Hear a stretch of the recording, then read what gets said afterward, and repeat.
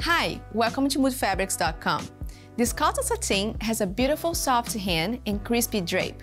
It has enough stretch for slightly hugging garments like pants and fitted jackets. It's fully opaque, but a line is recommended if you want to add structure.